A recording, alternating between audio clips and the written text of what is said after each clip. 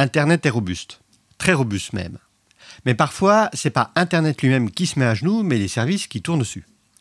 J'en veux pour exemple le 25 juin 2009. Peut-être que vous connaissez l'histoire.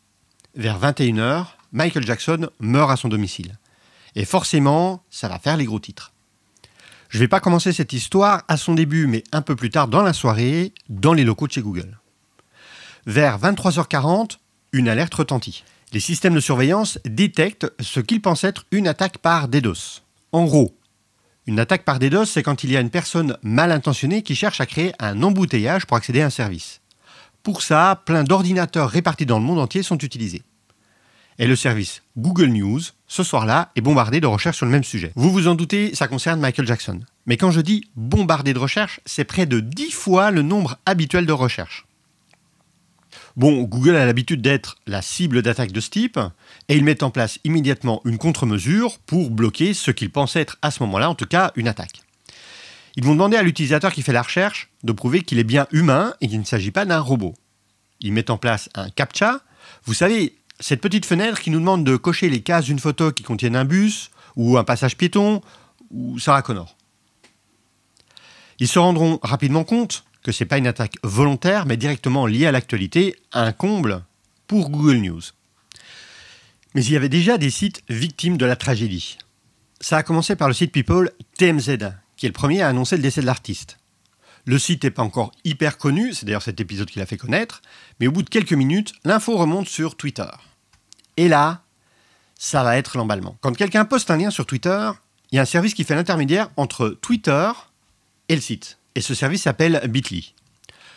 Quand on regarde les statistiques fournies par Bitly, les clics depuis Twitter pour aller voir l'article sur TMZ montent à 42 clics par seconde, ce qui est absolument énorme. Si on veut avoir une idée, ça fait plus de 150 000 visites par heure ou 3 millions et demi par jour. Et forcément, le site de TMZ ne résiste pas. Il ne répond plus, complètement saturé par les demandes. Dans la foulée, le site du Los Angeles Times confirme le décès et commence à être de plus en plus difficile à joindre. Et cette fois, c'est Twitter qui commence à avoir des soucis.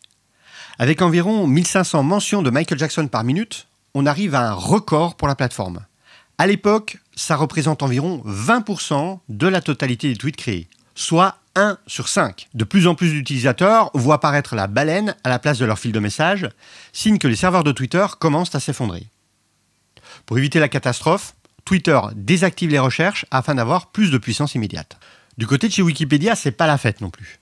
Les modifications de la page de Michael Jackson s'enchaînent à une vitesse inattendue. Le site va donc logiquement verrouiller la page. Mais ce sont les consultations qui s'envolent. Les statistiques qui ont été fournies par la fondation Wikimedia montrent que la biographie du chanteur a été visitée pas loin d'un million de fois dans l'heure qui a suivi l'annonce. Et chose assez cocasse, même le site 4chan s'est écroulé sous le DDoS légitime qui a eu lieu on a pu constater entre 10 et 20% d'augmentation du trafic Internet durant la journée du décès.